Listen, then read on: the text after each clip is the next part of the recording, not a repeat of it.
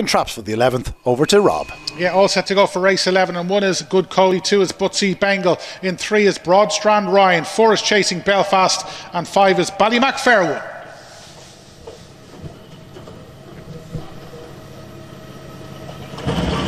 And away they go, and four is well away chasing Belfast, as is Broadstrand Ryan up the inside. And these two going to dominate into the opening bend. So chasing Belfast has just opened a three, four length advantage off the second bend. And suddenly he's going to take plenty of catching because Broadstrand Ryan has got a big deficit to close. Then we got Ballymac Fairwood and Butsy's Bengal. But it's still chasing Belfast that they're all chasing. And he leads by six lengths, maybe five of, over Broadstrand Ryan off the final bend. But this is all over. And it's all over courtesy of chasing Belfast, who makes all for Graham Holland. In second was Broadstrand Ryan. Five Ballymac never really got going, but Chasing Belfast has made it win number six in a time of 28.60.